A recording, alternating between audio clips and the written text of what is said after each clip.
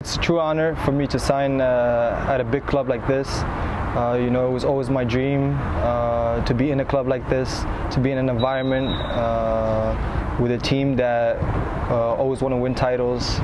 And um, you know, since I was uh, young, my dad took me to a Raja game, and I, you know, I remember telling him that you know I want to be in this in this stadium. I want to play in this environment and I'm just very happy to be here. I know that this team uh, wants to win titles, and obviously I came here to win as many titles as possible.